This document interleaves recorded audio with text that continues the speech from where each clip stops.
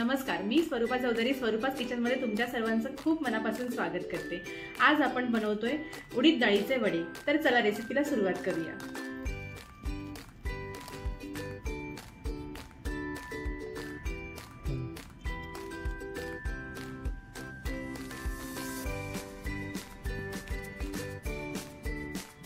वडे बनवण्याकरता इथे मी घेतलं आहे एक वाटी उडीद डाळ अर्धी वाटी मूग डाळ पाणी जिरं मिरच्या.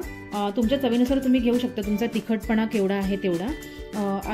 अर्धा इंच आलं घेतलं आहे बारीक चिरलेली कोथिंबीर मीठ आणि ही उडीद डाळ जी आहे ती मी तीन तास भिजवून ठेवलेली आहे पाण्यामध्ये. त्याचबरोबर मुगडाळ पण भिजवून ठेवलेली होती. आता हे मला दोन्ही डाळी जी आहे त्या मला वाटून घ्यायच्या ते मी वेगवेगळं वाटून घेणार आहे. पण वाटताना तुम्हाला ह्याच्यामध्ये जास्त पाणी घालायचं नाही आहे जास्त पाणी घातलं तर ते बॅटर पातळ होऊ शकतं आणि वडे तेलात सोडताना म्हणजे प्रॉब्लेम होऊ शकतो. तर वडे प्रॉपर सुटले जाणार नाही तर तुम्हाला बॅटर असं एकदम घट्टसर वाटून घ्यायचं आहे मी तुम्हाला दाखवते वाटवल्या वाटल्यावर बॅटर कसं होतं ते. आता ही जी डाळ आहे ती मी चांगली पाणी असतलं काढून घेते. हे बघा अशा प्रकारे.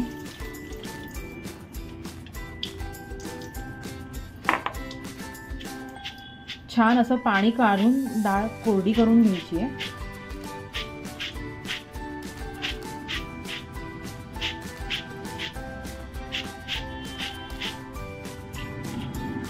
अजूनही डाळ थोडीशी अशी ओलसर आहे त्याच्यामुळे तिला अशी ना थोडी ना वरती खाली करून घ्यायची जेणेकरून त्यातलं आतमधलं जे पाणी असतं ते निघून जातं. आणि आपल्याला वाटताना डाळ अशी एकदम बॅटर असं पातळ होत नाही.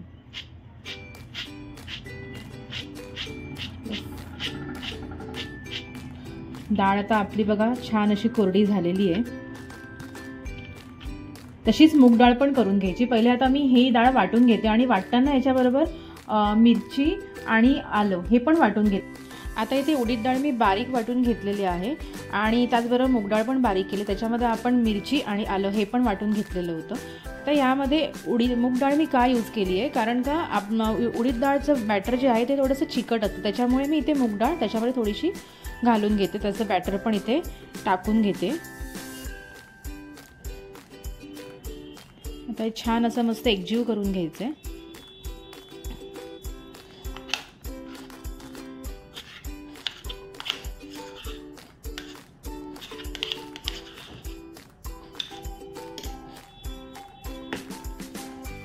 त्याचबरोबर आपण त्याच्यात टाकूया एक चमचा जिरे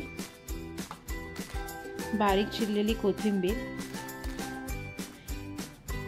आणि तुम्हाला याच्यामध्ये तिखट टा मिरची पावडर टाकायचं असेल तर तुम्ही टाकू शकता. कारण त्याच्याने पण चव छान येते. आणि जर मिरची पावडर असेल तर मग आपल्या हिरव्या मिरचीचं प्रमाण थोडंसं कमी करावं. चवीपुरतं मीठ.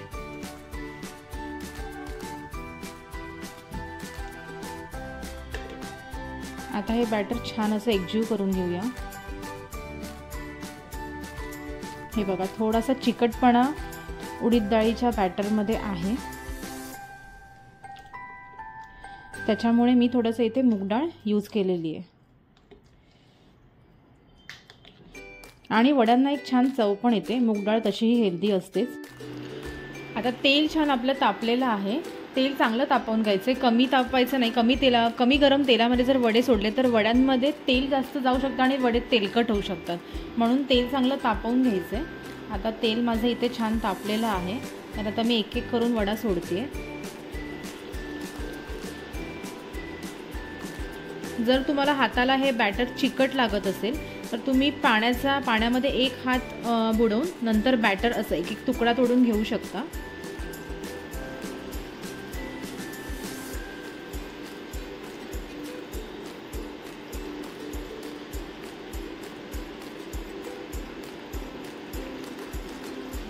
असे सुटसुटीत अंतरावरती हे असे वडे सोडायचेत आपल्याला.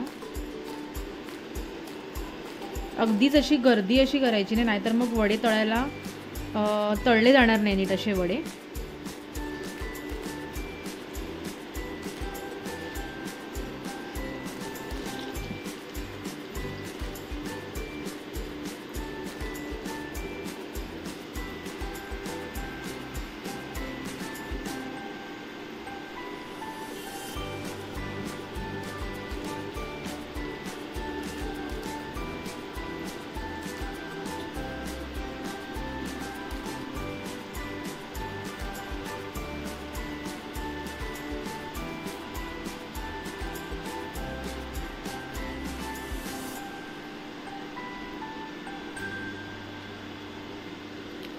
असं वड्यांवरती तेल असे तेल सोडायचं. आहे हे बघा वडे असे हळूहळू पलटवायचे.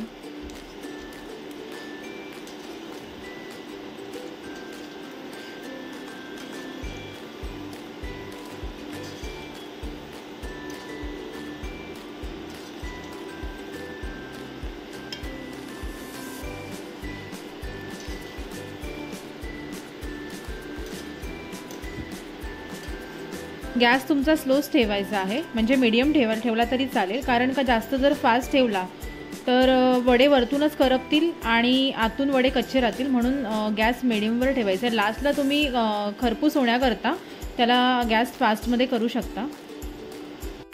हे बघा वड्यांना छान असा गोल्डन कलर आलेला आहे. मला अजून थोडे कुरकुरीत पाहिजे.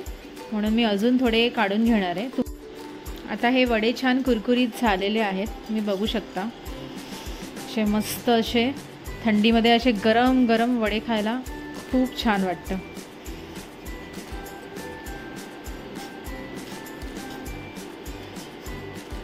असं साईडला असं आपला झारा जो आहे तो असा लावून घ्यायचा जेणेकरून जे एक्स्ट्रा तेल असेल ते असं खाली निघून जातं. त्यानंतर वडे. हे बघा एवढा छान असा याचा आवाज येतो आता हे आपले असे गरमागरम हे बघा केवढा छान असा आवाज कुरकुरीत येतो आहे वड्यांचा आता आपले गरमागरम वडे चाललेले आहेत. तुम्हाला दाखवते.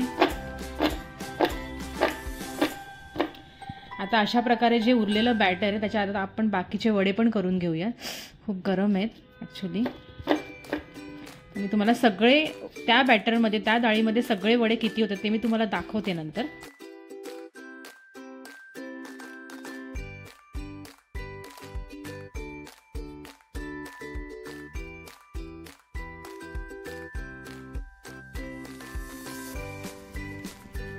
हे बघा वडे केवढे वरतून कुरकुरीत आणि आतून किती सॉफ्ट असे झालेले आहेत. आता हे वडे शेंगदाण्याच्या चटणीबरोबर किंवा सॉसबरोबर तुम्ही सर्व करू शकता आणि त्याचा गरमागरम वड्यांचा आनंद घेऊ शकता. तुम्हाला जर माझा व्हिडिओ आवडला असेल तर लाईक शेअर करायला विसरू नका आणि चॅनलला नवीन असाल तर सबस्क्राईब करा. थँक्यू